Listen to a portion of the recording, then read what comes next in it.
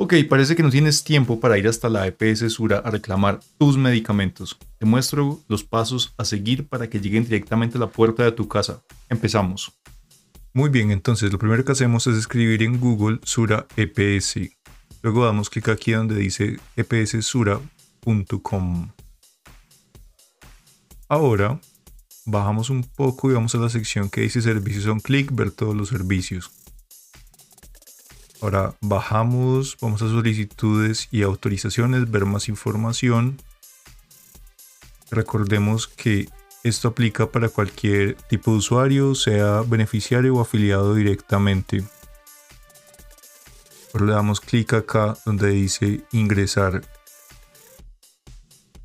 Luego acá me va a pedir que seleccione el tipo de documento de identidad, el número de documento de identidad, y yo ahí se los voy a tapar escribimos la fecha de nacimiento de la persona para la cual estamos. Vamos a hacer la solicitud de medicamentos a domicilio. Le damos aquí en no soy un robot, luego ingresar. Mientras esto carga pueden suscribirse al canal. Sería genial si lo hacen.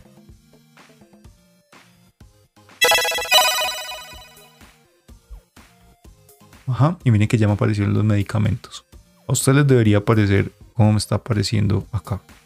Damos clic ahora aquí en número de orden. Luego le damos solicitar domicilio. Acá debemos introducir nuestro departamento, municipio, la fecha de entrega estimada de los medicamentos, el horario en que pueden ser entregados, un teléfono, yo ahí pongo siempre los celulares, Porque igual, si de pronto ellos vienen a hacer la entrega y uno no está en casa, eh, lo llaman. Bien. Luego aquí sigue la dirección. Ahí seleccionamos los campos que correspondan. Listo. Y aquí le damos en continuar. Una recomendación es que no usen tildes ahí porque les puede quedar incompleta la palabra. Le doy en continuar. Y acá me dicen que extrañamente el valor de envío es de 0 pesos. No tengo idea por qué pero normalmente cobran entre 5 y 7 mil pesos adicional por el envío. Y me indican también cuál es la cuota moderadora máxima. Y listo, finalmente le damos clic acá en confirmar pedido. Y ahí está, nos queda el número también de la orden. Bueno, la orden no, del, del pedido. Y listo, así ya nos llega a domicilio en la fecha que estipulamos. Ahora, cuando se trata de medicamentos para pacientes crónicos como por ejemplo hipertensos, hay que hacer un paso adicional y de entrada no nos van a aparecer los medicamentos, les voy a mostrar cómo se renuevan las fórmulas y es lo que sigue a continuación. Listo, entonces nos aparece este mensaje. Bien, eh, esto significa que aún no se han eh, aprobado los medicamentos para ser pedidos. Esto aplica sobre todo en medicamentos crónicos, eh, que es el caso de mi mamá. Cuando se trate de medicamentos crónicos les voy a mostrar también cómo se hace. Y básicamente lo que debemos hacer es una renovación de la fórmula ingresando en este enlace que aparece acá. Le voy a dar clic en el enlace. Aquí selecciono el tipo de documento de identidad, el número de documento de identidad lo escribo, la fecha de nacimiento. Luego no soy un robot y le doy en aceptar.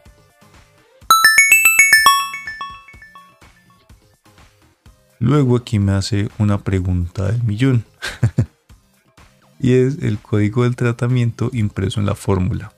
Yo ahí tengo los históricos, pero ¿qué pasa si no me lo sé? Entonces me dicen, si no tiene el código de tratamiento puede consultarlo por medio de las siguientes opciones. Ingreso a epssura.com, inicio sesión con el usuario y contraseña, elijo la opción consulta de medicamentos y allí podrás descargar la fórmula médica. ¿Listo? O por WhatsApp también se puede hacer, aquí están las opciones, o llamando a este teléfono o si tienes la hoja impresa con la orden de los medicamentos lo puedes encontrar en la zona de la mitad de esta al lado de la derecha ahí está el código entonces escribirías ese código acá en este campo. Yo ya aprendí a hacerlo desde la página entonces vamos a hacerlo. Vamos a ingresar en www.epssura.com entonces iniciamos sesión damos acá en afiliados. Abrir una pestaña nueva Aquí debo ingresar el usuario y contraseña. Bueno, primero tipo de documento de identidad, luego el documento de identidad Al darle clic aquí en contraseña, miren que es un teclado ahí que se carga. Debemos darle clic de a unito.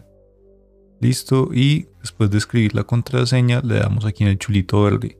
Si no se ha registrado aún, se registran de una vez porque igual desde la página de Sura se pueden hacer muchas cosas. Le doy clic en el chulito verde.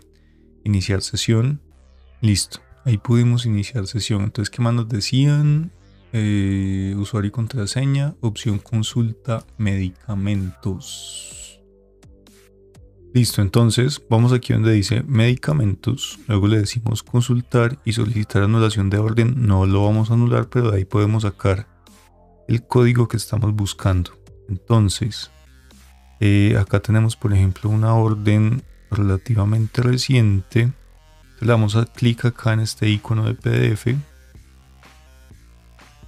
ahí se nos descarga un PDF y el código que estamos buscando es este de acá. Dice acá código de tratamiento. Lo copiamos.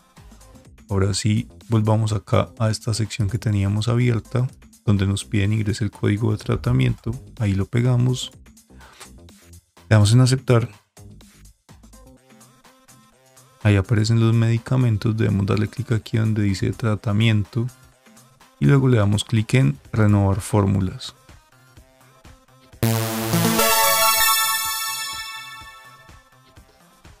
Listo, si de pronto nos arrepentimos de pedirlo a domicilio, eh, pues simplemente descargamos estas fórmulas, las imprimimos y las llevamos al lugar donde eh, hacen la dispensación de medicamentos. Y si no, pues avancemos con la parte de domicilios.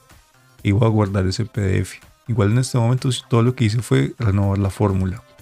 Listo. Ahora, recordemos que estábamos acá en la página de EPS Sura le dimos clic en servicios a un clic, pero hagámoslo desde donde estábamos ahora.